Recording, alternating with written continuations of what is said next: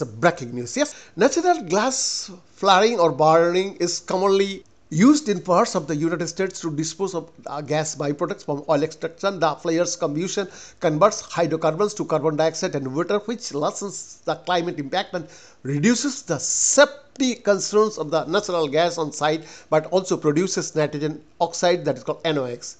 NOx, which includes the highly reactive gases nitric oxide and nitrogen dioxide, directly and indirectly impacts the air quality. The Clean Air Act requires the U.S. Environmental Protection Agency to regulate nitrogen dioxide. Yeah, the most prevalent from NOx due to its influence on public health and environment. Currently, the EPA gauges NOx emissions from flares using emission factors, a static value multiplied by activity data provided by the flare operator.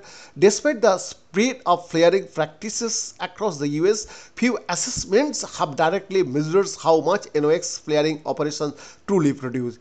As a part of the fuel project which aims to provide data-driven updates to US oil and gas emissions estimates, a University of Michigan-led research team measured NOx production from real-world natural gas flares. The research team collected data from three regions, Eagle Ford in Texas, Permian in Texas and New Mexico and Bakken in North Dakota, which together produce more than 80% of gas volumes flared in the US. A small aircraft equipped with high precision instruments flew close to the ground in this region, intercepting the mixed combustion plume from flares.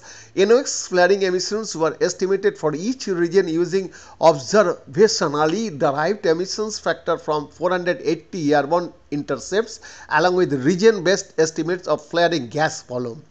Using an airborne approach allowed us to sample flares over large geographical radius and capture a variety of operations conditions without requiring ground access to the sites, said co-author Genevieve Plant an assistant research scientist of climate and space sciences engineering at the University of Michigan. This highlights the importance of measuring emission sources under real world operating conditions said Plant. Although the median emission factor for each region was within the range of values used by the regulatory agency in Texas. Some flares generated NOx at much higher rates with 20 to 30 percent of the flares responsible for 80 percent of basin-wide flaring NOx emissions.